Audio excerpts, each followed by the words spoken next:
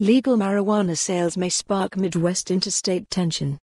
Chicago, AP, retailers legally selling marijuana for the past month in Michigan say they have drawn customers from surrounding Midwestern states where the drug remains illegal and, as Illinois prepares to join the recreational market on Wednesday, officials are renewing warnings to consumers against carrying such products over state lines.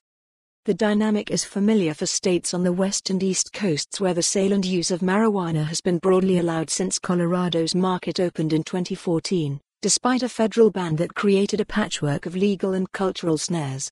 Nebraska and Oklahoma went so far as to file an unsuccessful lawsuit against Colorado, arguing that its marijuana law would have ill effects for surrounding states. In the years since, the industry has wrestled with questions over companies' obligation to pay federal income taxes or follow laws on employee safety. Other thorny issues confronted state regulators, who were forced to determine suitable pesticides for growing cannabis plants, and which ingredients were safe to include in products meant to be eaten or burned. That terrain is usually reserved for federal agencies. The tensest point, though, remains the illegal market that has survived in states with legal cannabis markets. Some of that product comes from outside the legal systems tracked closely by states' regulators, while other states have struggled to keep diverted legal marijuana from bleeding into the illegal market at home or in far flung states. Data also suggests that some customers will cross state lines in search of state licensed marijuana retailers, despite warnings that it's illegal to bring the product back home.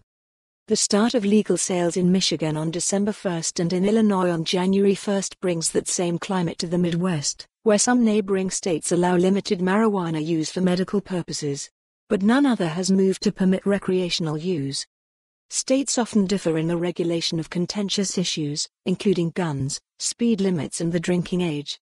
But Sam Kamin, a professor of marijuana law and policy at the University of Denver, said interstate accusations about the effect of marijuana sales on legal states' neighbors are likely to linger unless federal law changes. Supply and demand tells us it's going to be a constant thing, Kamin said. Regulations can only do so much, and once product leaves a state, it ceases to be a regulatory problem and becomes a criminal one.